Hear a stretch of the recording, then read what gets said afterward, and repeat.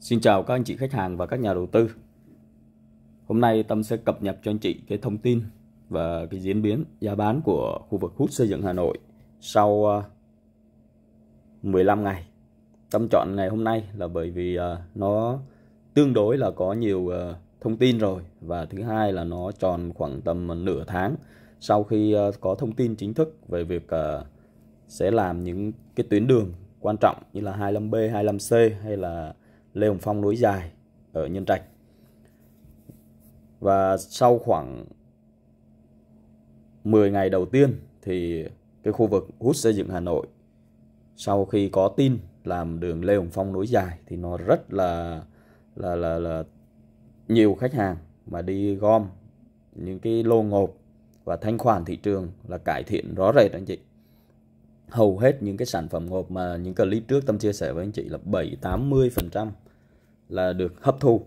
Nếu mà nó không bị lối hay là có cái mức giá mà nó tốt hơn thị trường một xíu.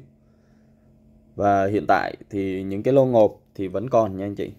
Ngộp ở đây là ngộp hơn thị trường, tâm nói nhiều rồi, chứ còn mức giá mức giá của thị trường ở khu vực hút xây dựng Hà Nội thì vẫn đang giảm đâu đó khoảng 30 35% so với thị trường. Và thực sự đây là một mức giá chiết khấu là hấp dẫn và với tiền mặt thì tâm luôn cho rằng anh chị uh, mua được và tầm nhìn đầu tư nó dài hạn một xíu. Còn ở thời điểm hiện tại thì sao? Thì uh, sau khoảng ờ, uh, 15 ngày tức là nửa tháng thì thị trường nó có cái diễn biến chậm lại rồi anh chị thì cái điều này là dễ hiểu thôi. Thực ra là ngay từ khi có tin Lê Hồng Phong, Tâm đã có những cái status ở Zalo hay là trên YouTube này là thông tin với anh chị. Là những cái việc mà thông tin làm đường hay là kể cả cái việc khởi công làm đường thì nó chỉ là một cái thông tin nhất thời và nó tác động một cách dài hạn, mang sự tích cực và đều đặn trong khoảng à, 3 năm 2 năm tức là cho đến khi cái tuyến đường nó thông xe anh chị là nó sẽ tích cực đều. Tất nhiên nó phụ thuộc vào nhiều yếu tố khác nhưng mà riêng cái khu vực dự án mà có hạ tầng ấy, thì nó sẽ hưởng lợi theo cái cái cái thông tin là như vậy.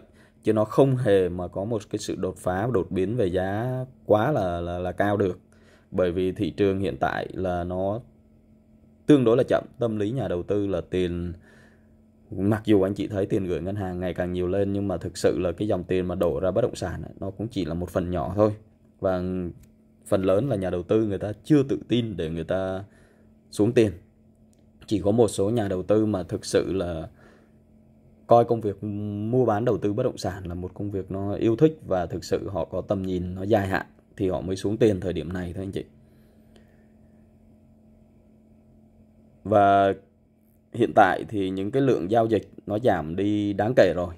Nó đâu đó chỉ có ngày trước là khoảng 10 ngày trước. Từ khi mà có tin anh chị, thì mỗi ngày là xảy ra đâu đó khoảng tầm 5 6 cái giao dịch. Đó là một mức tương đối là là là là là tốt. Nó không thể mà so sánh với những lúc mà thị trường bình thường, nhưng mà so với cái việc mà thị trường trầm lắng một tuần chỉ có vài giao dịch thì ở những cái 10 ngày vừa rồi là nó rất là là là tốt.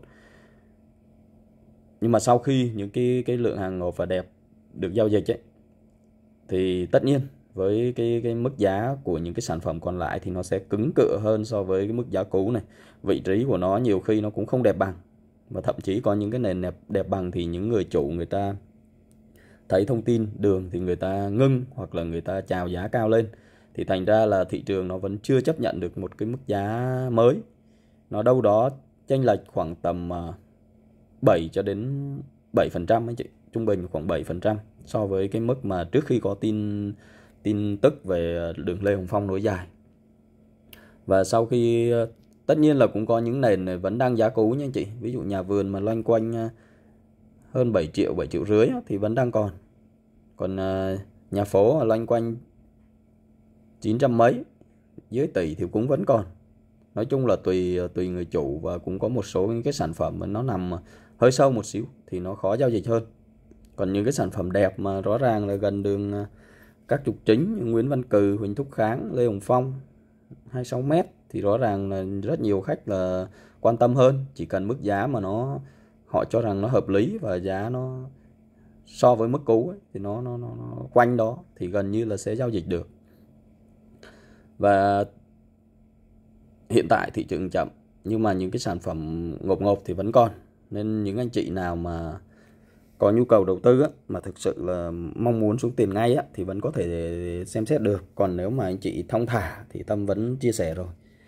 Tin tức chỉ nhất thời và nó chỉ là một cái à, gợn sóng thôi chứ không phải là sóng nó gợn lên xíu thôi. Là có giao dịch có thanh khoản có sự tăng giá nhẹ thì những anh chị nào mà cảm thấy nó nó, nó, nó thị trường sắp tới trước và sau Tết nó còn có những cái khó khăn này thì anh chị có thể đợi để mức giá nó nó nó sẽ ổn định lại. Và thậm chí tâm cho rằng là nó có thể lình xình quanh mức này thời gian khá là dài. Thì anh chị hoàn toàn có thể đợi và lựa được những cái sản phẩm nó ưng ý. Chứ không nhất thiết là phải vội. Còn những anh chị nào mà nhiều vốn thì rõ ràng anh chị phải phân bổ ra. Những cái sản phẩm nào mà hợp lý và vị trí ổn với mức giá hợp lý là anh chị mua được rồi. Còn uh, những cái vị trí mặt tiền Lê Hồng Phong thì sao? Thì rõ ràng là cái tin này là tin mà những cái vị trí mặt tiền là được hưởng lợi đầu tiên và hưởng lợi lớn nhất từ cái thông tin đường Lê Hồng Phong. Nhưng mà xem ra thì nó cũng không ảnh hưởng nhiều lắm anh chị. Giá của đường à, Lê Hồng Phong hiện tại là khoảng 2 tỷ 3 cho đến 2 tỷ 4 một nền. Một mức giá có thể gọi là cao hơn mức uh, giá cũ mức uh, giá cũ đâu đó trước khi thời điểm mà có tin anh chị. Tin làm Lê Hồng Phong nối dài ấy. tin tức thì nó lâu rồi nhưng mà tin khởi công anh chị thì nó chỉ mới có khoảng 15 ngày trước thôi. Và giá bán của nó xây dịch đâu đó khoảng tầm ờ, 7% trăm. Tức là giá chào lên đó, 7% có một số nền thì là 10% nhưng mà lại không có giao dịch. Và có những nền thì ờ, vướng phải ngân hàng, chủ vướng phải ngân hàng thì thành ra là khách mua người ta cũng ngại, không muốn giao dịch. Bởi vì số tiền vay nó tương đối là lớn, họ mua ở những thời điểm đỉnh anh chị. 3 tỷ hơn, mà bây giờ bán ờ, 2 tỷ hơn thì rõ ràng là lỗ 1 phần 3 thì cái khoản vay của họ cũng chiếm 2 phần 3 rồi, thành ra là hơn 2 tỷ. Thì không không khách nào chịu bỏ tiền vào. Thế này Tâm cũng chia sẻ rồi. Và ở hút thì cũng còn tương đối, khách là đang vay ngân hàng. Và cũng đang có những ý định để bán. Tuy nhiên là họ bán cắt lỗ sâu thì lại lỗ ngân hàng chi phí vay cũng như là phí phạt anh chị. Đâu đó mới khoảng tầm năm mấy, hai năm thì vẫn đang phạt đâu đó khoảng 2% nên thực ra là tâm nói rồi, nếu mà vay ngân hàng mà thời điểm này là lỗ lỗ đơn, lỗ kép, lỗ chồng lỗ và hàng tháng còn phải trả ngân hàng mấy chục triệu. Nếu mà số khoản vay thì 2 tỷ mấy thì cũng phải trả ba mươi mấy triệu bởi vì lãi suất của Hà Nội của những ngân hàng mà cho vay ở vùng ven ấy đất nền vùng ven xa ấy, thì lãi suất tương đối là cao. Hiện tại Hà Nội cũng phải tầm 12 13 phần trăm. Ngân hàng tư bình thường thì loanh quanh 10 trăm còn ngân hàng à, nhà nước thì cũng khoảng 9 phần trăm lãi Hà Nội nha anh chị. Và đường Lê Hồng Phong này thực sự thì à, Tâm cũng chia sẻ với anh chị rồi là dù có tin thì nó cũng là một quá trình thời gian và cái sản phẩm những người chủ ngộp thì vẫn bán ra. Và cái việc thông đường này thực tế là nó cần tới 2 năm. Theo ờ, ủy ban dân huyện nhân trạch là gần 2 năm để thông. Còn, và thực tế thì nó cũng chưa đưa vào kinh doanh được ngay. Thành ra là những cái yếu tố mà để tăng giá đột biến là không có. Tâm chia sẻ với anh chị, thẳng luôn là không có. Mà nó cần thời gian và nó sẽ tăng đều. Nếu anh chị nào mà chủ nào mà đang ở, có vị trí mặt tiền Lê Hồng Phong mà chưa chưa có nhu cầu cần tiền thì tâm cho rằng anh chị cứ nắm giữ. 3 năm 5 năm thì sau này là những cái tuyến đường phía sau này nó thông này, cái lưu lượng giao thông nó có này. Thậm chí là phải hơn 5 năm để cái đường à, thị vải, cái mép, cái cầu Phước An này hoàn thành nữa anh chị. Là thành ra là anh chị chịu khó đợi thời gian thì cái lợi nhuận của nó rất là tốt. Thì đây là một trong những tuyến đường từ trung tâm huyện Nhân Trạch mà dẫn lên các cái nút giao thông cao tốc và đường à, đi à, Vũng Tàu, Bà Rịa Vũng Tàu. Và những vị trí bên trong thì như nhà vườn ở bên trong thì loanh quanh hiện tại vẫn cứ loanh quanh 7 triệu rưỡi thì thực ra là mức xây dịch là không nhiều, chỉ có vài phần trăm thôi và hiện tại thì vẫn đang có hàng. Thì anh chị nào quan tâm thì cứ inbox cho Tâm. Do đó là cái việc tin tức làm đường này thực sự nó có ảnh hưởng cũng ở thời điểm này thì nó rất tích cực, nó mang lại thanh khoản và sự ờ, biến động về giá nhỏ. Nhưng mà cái điều quan trọng cốt lõi là nó có giữ được lâu hay không? Và anh chị là, ở clip trước tâm nói anh chị là không nên phục mô quá mà mua những cái giá cao. Thực tế thì tâm, thời gian vừa qua là có rất nhiều, anh chị là mua giá cao hơn thị trường 1 đến 2 triệu một mét.